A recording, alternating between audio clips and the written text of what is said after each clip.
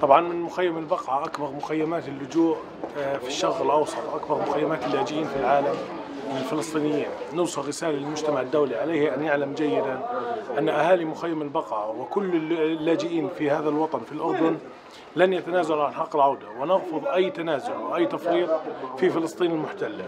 نحن نعترف بفلسطين من أقصاها من من أقصى الجنوب إلى أقصى الشمال. ونعترف بال 28 ألف كيلو متر مربع لا نعترف بالضفة الغربية كوطن بديل ولا نعترف هون بالأردن أن يكون وطن بديل على حساب فلسطين.